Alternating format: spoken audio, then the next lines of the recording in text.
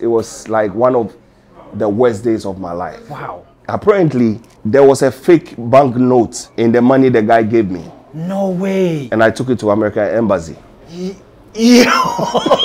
When I was growing up, there was there was not even a car coming to my village. You have to wait, I think, every Sunday to actually see a car. Oh, and did you have lights? Nah, we, we never had lights. It got to a point that I I would not be able to sleep for like five days. I was on Wow. medication. I was on uh, trazodone.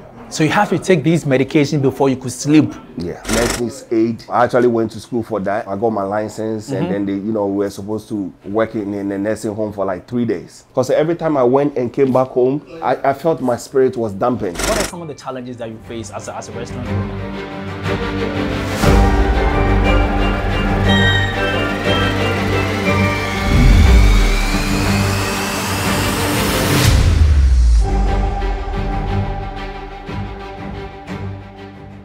Ladies and gentlemen, welcome to the journey. This is where we uncover the stories of people from all corners of the world. Today, our guest, personally, I call him Big Mo, but he's well known as Chef Mo. Chef Mo is an outstanding chef and restaurant owner in New York.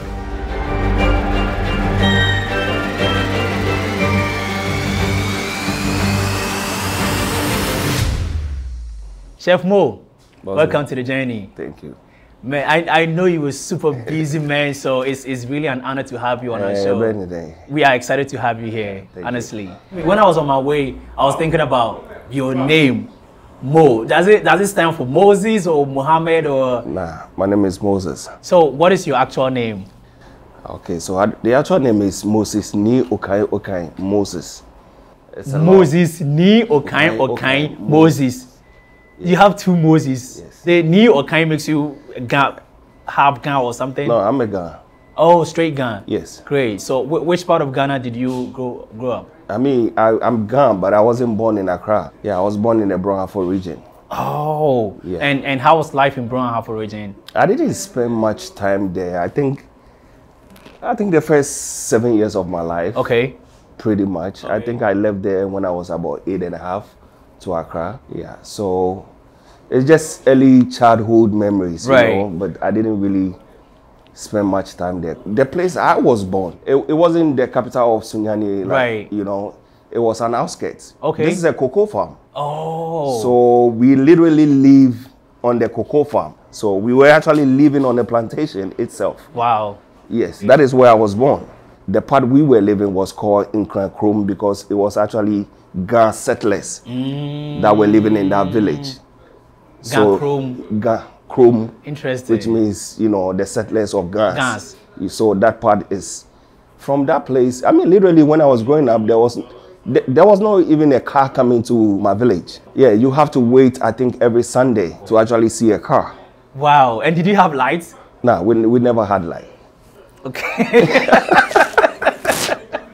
That's Yeah, quite I, I was born in the deep. Mm, I was born in the, easy. Wow, that's quite an interesting story right there. My early childhood education was in the village I was talking about. So I don't know if you've heard of Tano, the, Yes. the river. So the river actually passes through my village. I think just a minute from, From the there. Tano River. So our break our break time excitement was actually to go to the Tano and then play. and look at the fish, you know. Wow. Let's move fa- fast forward to your life uh, in America. When you got here, what was your expectations? Uh, literally, I mean, that has never been in my thoughts. It has never, nah, it has never occurred to me. You didn't even plan about coming to America. No, I, I, I mean, I got lucky. You got lucky. Yes. Wow. because I I was literally out of work. So I had a friend who was living in Madina. She had a store over there. So, you know, I'll go and help her out. So one day I was just sitting in front of the store and these two gentlemen came mm-hmm. and they said, Oh, they're doing visa lottery. So, you know, literally you're not gonna pay anything, they're just gonna register you. Really? Yes. So they, they So they registered me, and Just that like was that? it. I never heard of them until after five years. One day I was there, and my phone rang. Five years time later, because literally what they do is they actually register a bunch of people, Right. And they put it in the system. So every time, like eh, if you don't win every year, they have a bunch of people, and then they keep putting it. It was five years later. I mean, literally when they called me, they had made a mistake and changed my surname. Really? Yeah, but you so still. Mhm. When they called me, I was like, my name is Moses, but the surname I don't know about it. Right. You know what I mean? So Story what happened? Did they change it or you just you kept it? Yeah, so you know, the guy was like, okay, I mean, I'm not too sure, but you know, we have a photo on the application. And that was your photo. That was my photo. Okay. So if you want to come and look at it, fine, you could come and look at it. Right. The guy actually drove to my house and then he brought the application and it was me. But was- the, the last name had changed. Had changed. Oh. I mean, we had to do some changes, you Right. know, to avert the names and Right. all that. But that was five years later. I had even forgotten about it. It Forgotten wasn't about even it. Mm-hmm. in my thoughts. You know what I mean? Getting the visa to actually come here was kind of crazy. Mm. Because I remember the first day I had to go for the interview. I didn't have the application fee. I did not have the application fee. I literally had to take, you know, the lottery ticket and everything Mm-hmm. and go to this, you know, godfather of mine. Right. And I was like, yo, if you don't help me out today, I'm my dead. life is over. and quite interesting, he said, listen, I don't have money with me. This guy owes me money. Here's Okay. his number. If you call him and he gives you the money, you can take it. Hallelujah. I was supposed to be at American embassy by 9 a.m. By the time I, I called this guy, and for some reason, he said, You know what? Meet me at Madina Junction. I went there. He said, Listen, I don't have all the money, but this mm-hmm. is what I have. Mm-hmm. So I took the money, and Right. I don't know, for some reason, I'm like, You, you know what? I'm going to go and let them know that, you know, I couldn't come with, up with the money. When I got to American embassy, it was around 12 noon. But No- you were supposed to be there by 9. 9 a.m. I was chasing late. the money for the application, so I went there. I 12 noon, and then this security guy was there. I explained my issue to him, and he was like, "Okay, go in." Mm-hmm. And one of the worst moments in my life happened at the American embassy. So I told them I didn't have all the money, so Right. what I had, and they said, okay, you could actually pay for it mm-hmm. because I think it takes about three months for them to approve it. Mm-hmm. So they were like, okay, you can actually pay for it, like half of it, and then your subsequent interviews when you come, you can Pay the actually pay the rest. So I gave the money to the guy. Mm-hmm. And then the guy kept counting, Counting the the money. money. At a point in time, he stopped hmm. and went to the back room. And he was there for like 20 minutes. So, you know, I was kind of, Like, what's what's actually going on? well, what is going on? I mean, I just gave you money. My- you my don't want- money? yeah, so give my money back to me. Let me go. exactly. And then this guy came back.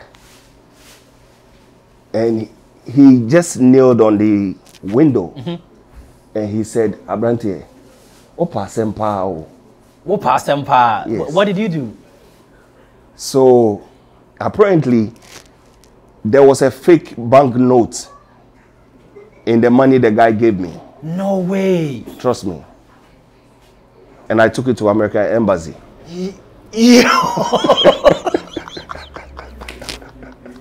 No, bro, I'm telling you, we're laughing about this situation right now, but back then when it happened, Right. it wasn't it wasn't funny. You when the it to guy Ameri- told me, my heart literally sank within me. And then he went back inside. He Hmm? he was there for like another 30 minutes before he came back.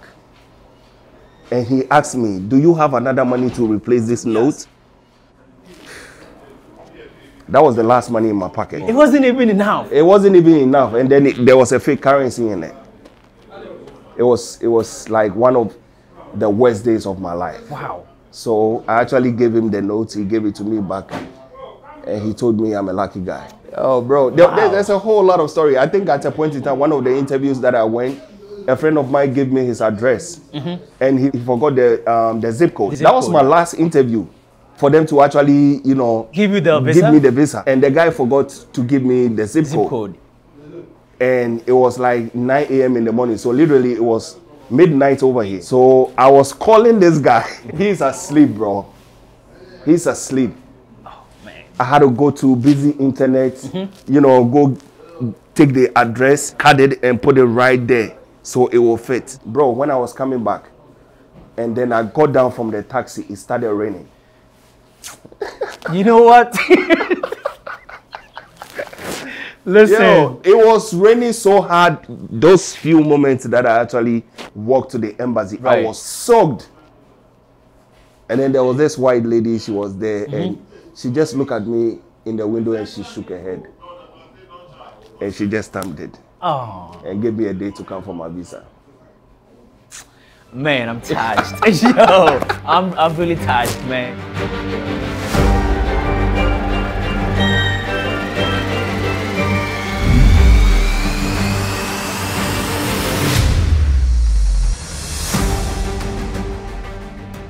Do you even remember your first job?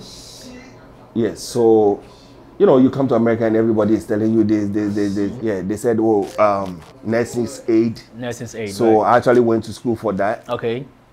And then when I completed, you know, I got my license, and then they, you know, we were supposed to work in, in a nursing home for like three days. Bro, I went there for the first day, second day, and my soul wasn't in it. That that, that wouldn't be a job that I would do. Right.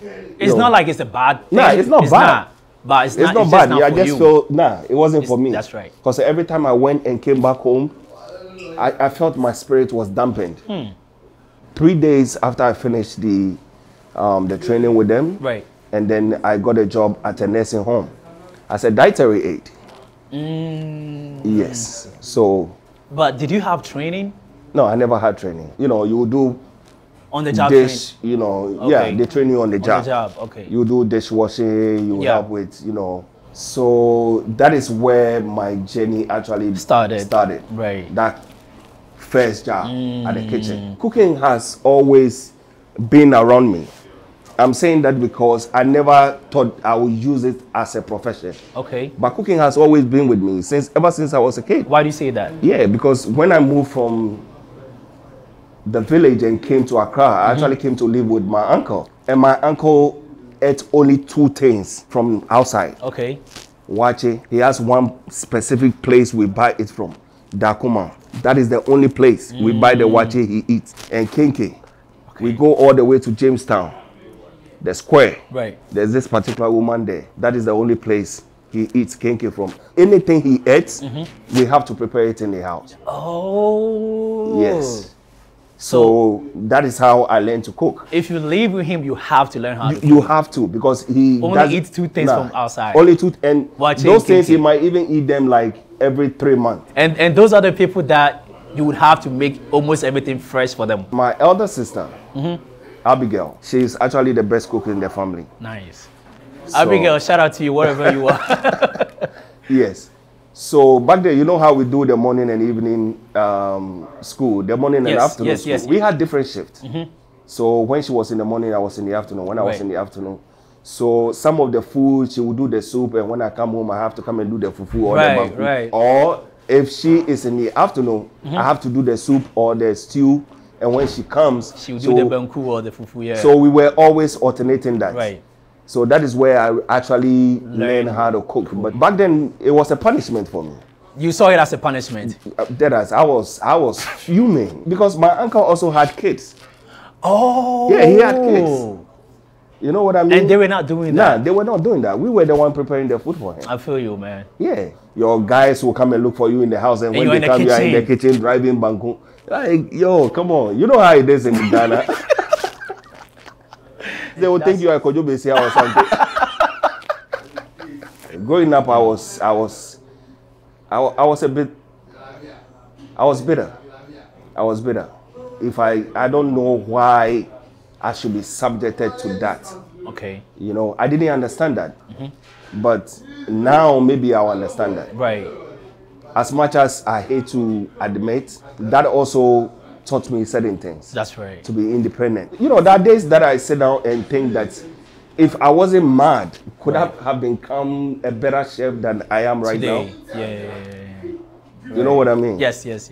So I want I wanted to know before you could work in one of those prominent restaurants, you got to go to a culinary school and all that. Did you? I, I went to a culinary school, Where? uh, Westchester Community College, For how long? um, two and a half years. Two and a half years. Yeah, it's a two and a half years course. It's um, food service Okay. and uh, culinary arts. You completed? I, nah, I did two years. But you were almost there. Yeah, I What had two jobs. See, that's the thing. To you know, juggle school and job here is Yeah, is, is, is bro, it, it was tough because I had 11 a.m. to 7 p.m. job, and then I have 11 p.m. to 7 a.m. job plus school. that's hard. So literally, I wasn't sleep. I was literally a zombie. Yeah, because between those two shifts, you only have eight hours in between. yeah, So if you're doing school for six hours, six hours. You got two hours. two left. hours, Wow. I could count how many times I slept on the metro north and ended up in Harlem. I actually quit my job in 20, I think 2018. Yeah, because I was actually going through a tough time in my Okay. life, a very dark moment. You know, I was telling you that I had two jobs, right. and literally I was sleeping like two hours, Hours, in yes. between those two jobs, and going to school at the same time. Mm-hmm. So, I mean, in the past I had insomnia, but that also worsened it. And Mm. it got to a point that I, I would not be able to sleep for like five days. And I was on Wow. medication. Yeah, I was on uh, Trazodone, Mm. 150 milligram. So you have to take these medications before you could sleep. Yeah. But you know, this medications it works to a certain point and at a point in time, your body get used to Mm-hmm. Used to it, yes. Trazodone is a very strong medication. A 50 milligram is is enough to put anybody to sleep. Sleep. I was taking 150 milligram. Wow. Yeah. It got to a point that, you know, I started drinking before I would sleep. Mm. Yeah. And it, it was bad. It was bad. It got to a point where, so with the alcohol and the medication, And the medication. I could take it and I would still not sleep. But when I fall asleep, I'm sleeping for days. I could literally sleep for two days straight. Yeah, two, three days straight. It, it was starting to af- affect my work because, you know, I, as a chef, I was working six o'clock in the morning. And In the city? nah, here in the Bronx. Okay, okay. I did work at uh, two nursing homes in the Bronx. Okay. And then I also work at uh, School Hospital, yeah, as a chef over there. How did you come out of it? Nah, it took a long time. It took a long time. It started affecting my health. Right. You know, at a point in time, it got it got really really serious. Did your family know about it? No, I mean, I don't have family here. I'm the only one living. It's here. just you. yeah. Wow. So I mean, talking about the nursing home, I was working as a dietary aide, and one of the cook actually got fired. They mm. fired him on a Friday, and then the Saturday we went to work. There was no cook. The only re- reason why I opted to cook was the, because I hated to do parts. What is the part? You washing the dishes. Okay. Yeah, okay. that was the only reason because once you become a cook, then you don't have to wash the pot. The only reason why I told my boss that listen, I know how to cook, I just don't know how to do portion control. Right. So if you can teach me that, I would, I would, I'll cook. The first day they tried me. The second day they tried me. I was actually filling in a cook position for a year and a half before they actually hired me to become a cook. When I started cooking, Yes. you know, every time they send the food up, you mm-hmm. know, at a point in time, the residents started talking, you know, oh, You mean talk as they were complaining? no, they were, you know, they were having word. Every time I cooked, there was something oh, different. Oh, when you about it. cook. Okay, okay. So they want to know, okay, this day who cooked? You know what I mean? But I wasn't even paying attention. Yeah. The only my only goal was not to watch the parts, Right. you know. And then summertime we do barbecues, and mm-hmm. when we do the barbecues and the family members come, Right. Even the sauces I used to do the barbecue, you know, they will bring containers. They want to take some home, and then I started thinking about it. Maybe I'm good at this, but the main reason why I'm sitting here today Yes. as Chef Big Mo and I'm talking to you was the fact that this dark moment got so worse. At a point in time, I knew that they were going to fire me. Yeah, it got it got worse. Like I would sleep, not show up At- at, at work, work. and not call in. Call. You don't even call. No Nah. call. No show. So I knew I was going to get fired at a point in time.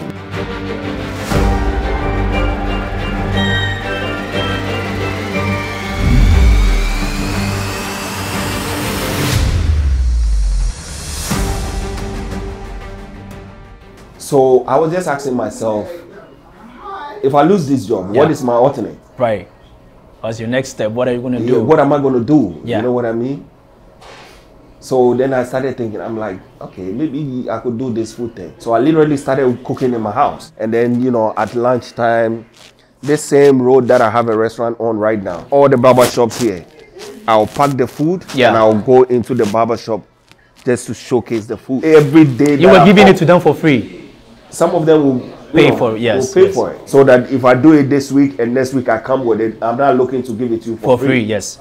You know what I mean? Yes. I'm looking for you to pay me. That's right. and a lot of them responded well. You know, so I started thinking, you know, maybe I could do this, you know. So in 2018, somewhere around November, they were actually going to fire me at work. They were actually going to fire me, and you know, the head of HR was Yeah. like, you know, we know you're going through a difficult moment, Yeah. so we don't want to do that. Okay, so they all they all they No, saw they're it. sorry. They're sorry. It was that serious. It was that serious. I see. Yeah, so they were like, you know what, we don't want to fire you Yeah. and ruin your resume, mm-hmm. so we would ask that you resign. Yeah. So I resigned from my job. I had some money saved, and it was kind of crazy because mm-hmm. at the same time, you know, I was in and out of the hospital. Yeah. Like every other month, it was crazy. It was a mm-hmm. very dark moment of my life.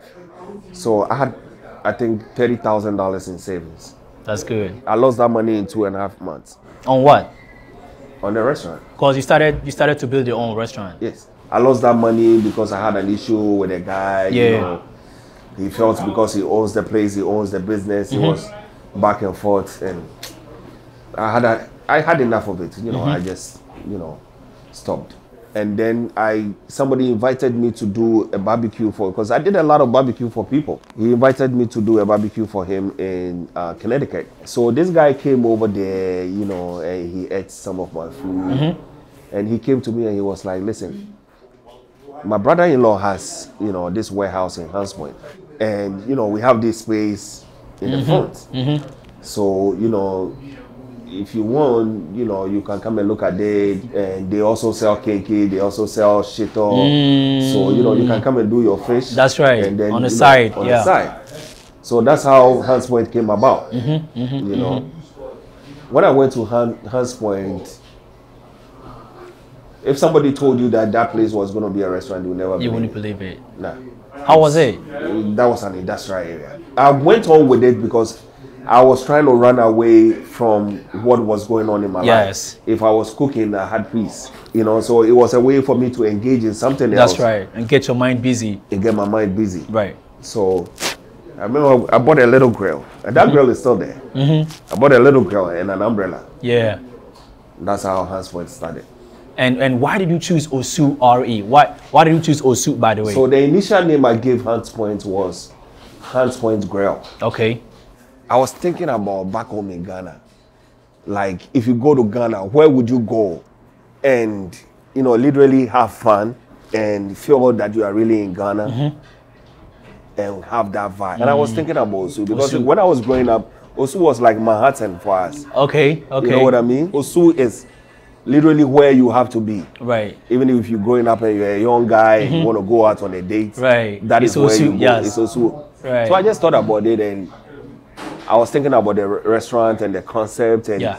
the you know the atmosphere I Right. wanted to create, and I wanted to also give the customers of something to remind them of That's home. right. A touch of home. Yeah. Yeah. So that's and I was just thinking about it and I said no. I'm gonna call Let this go restaurant Osu. also Ari Grill. And what is the RE? In Osu, they have a, an estate. It's called Riga Estate. Oh, Yeah, so the that- RE is the Riga RE, Estate. Yeah, Osu Riga Estate. Oh. Yes. A lot of people don't know that. I didn't know that when I named the restaurant Osuari. So, so how did you, if you didn't know, how did you come up with it? no, I had named the restaurant Osuari long before I actually called somebody in Ghana To find out. to find out. that is hilarious. yeah. Wow. Running a restaurant in New York or um, the, uh, America as, as, as a whole is quite difficult. What are some of the challenges that you face as a, as a restaurant owner? It's, it's a lot because you have to remember food in America is regulated, strictly regulated. Yes. and it's also capital intensive. That's right. If I tell you what it has cost me to have this place that Mm-hmm. we're sitting right now, you not believe it. Mm. And it's an ongoing thing. And that is why a lot of the businesses don't survive.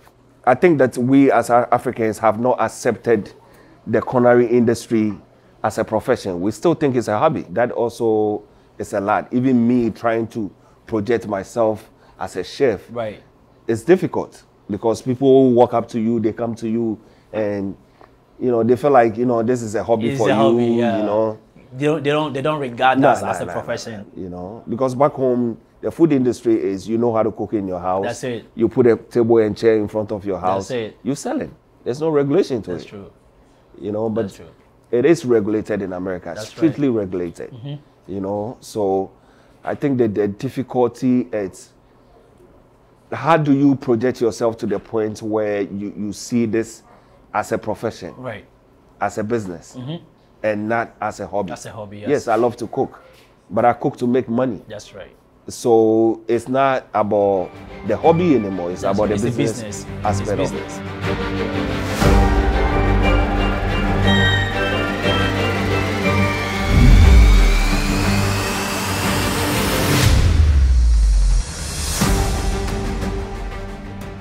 And one thing I've noticed, uh, this, this new location, one thing I saw, realized is that there is a Ghanaian restaurant that is literally a minute walk away from you, from this new location.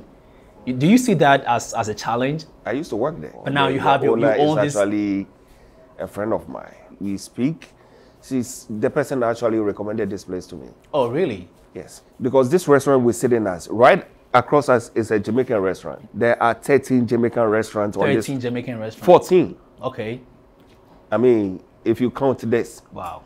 it's 14 restaurants. I've counted between Eastchester and Boston Road. Mm. They're coexisting. What is ahead of me and what I want to do for Mm-hmm. our culture and our food and the way I want to project our food is too big for me to be thinking about some stuff. Great.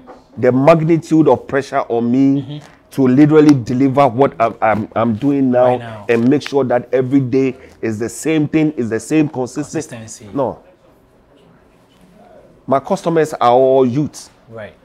These kids, they demanding. Mm-hmm. These are people who take photo of every food you put on, in front of Table, them. yes. They will rate the food. Mm-hmm. They will comment. Mm-hmm. They will give review. Right. So you can play around. You cannot. Uh, tell me, tell me some of the food that you serve here. Our business is built on grilling. That Okay. has been what I've been doing all this while. So Okay. all our proteins, 90% of our proteins are all grilled. Grilled. We do suya, mm-hmm. we do lamb, we do tilapia, we do lamb shank. Mm-hmm. You know, we grill them, tilapia. We grill it just like you go to Ghana and you go and buy tilapia. Charcoal grilled. We don't do gas. Yeah. Everything is charcoal, Charcoal. grilled. That's tough. It is right? tough. It's intensive. It It's a lot of labor. Yeah. And that is why, you know, barbecue food costs a lot. I've done this for eight years, you know, and it's a build up. I don't know if Joba told you. There was a point in time we, we were organizing um, Valentine Day dinner. Spend a lot of money. How many people will show up? Nobody. Yeah. Part of the reason why we are here today was that although we were doing good at transport, but how many people are we able to reach? That's right. You know what I mean? Mm-hmm. If you don't have a car, it means that you can access us. Mm. You know, what we do in is to certify people. That's right. So we want to be able to reach out to more people. So I think that this location, personally, Mm-hmm. as much as I'm glad that we have it, I'm even more grateful that customers will be able to access us. Yes. So before we end this, I would like you to put the address and you know, um, this is actually a new location, guys. This is a new location, Okay, so the address is 1344 East Gun Hill Road. 1344 East Gun Hill Road. Yeah, the cross street is either 16 Okay. or Fish Avenue. Mm. Yeah. Big Mo, Yes, sir. it's a pleasure having you here on our Thank you, show. bro. Folks, that is Chef Mo, owner of Osu Ari Grill in the Bronx, and it's located on 1344 East Gun Hill Road. This is the Journey Show. My name is Nanadum Jr. Thanks for watching.